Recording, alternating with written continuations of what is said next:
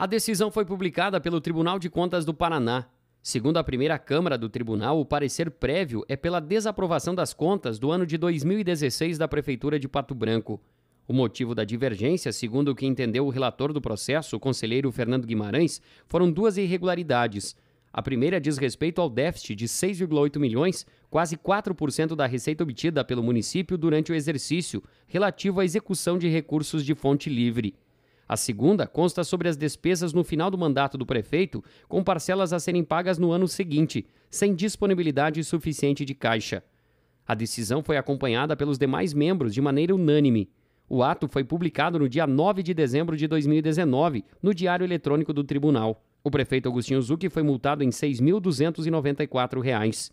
Segundo o TCE, o município e o prefeito podem recorrer.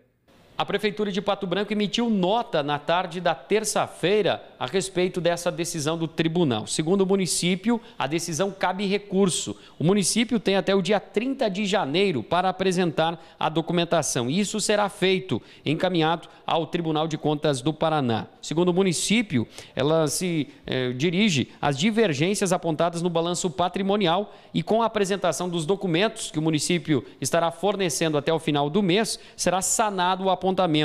O município informa também que as contas serão aprovadas e, consequentemente, a extinção de multa. Após o trânsito em julgado, o parecer será encaminhado à Câmara de Vereadores de Pato Branco. Segundo a legislação, os vereadores irão julgar as contas. Para desconsiderar a decisão do tribunal, serão necessários dois terços dos votos dos parlamentares.